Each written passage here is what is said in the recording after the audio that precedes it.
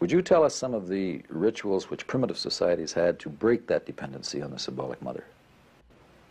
All the big transitions in life are in all uh, societies have been accompanied by so-called what Gennep calls rite de passage, rites of transition, to make a ritual to help people to to to make the the step over the threshold.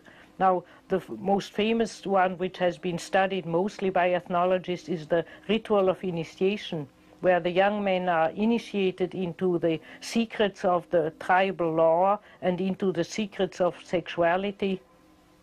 And uh, they, have, they have to leave mother and their home. They are secluded in the bush. They are symbolically devoured by a maternal monster. They are reborn. They have to generally stand a lot of tortures. Uh, they are sometimes also homosexually assaulted by the older men with the idea of injecting them uh, masculinity.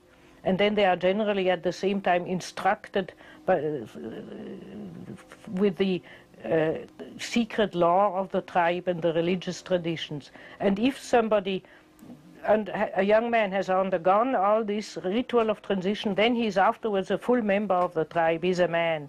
And many tribes call the ones who are afraid, who are for some other reason not initiated, they say, he's not initiated, he's an animal. Meaning he has remained completely unconscious, he has remained in an unconscious animal conditions. He's not really made the step to being human.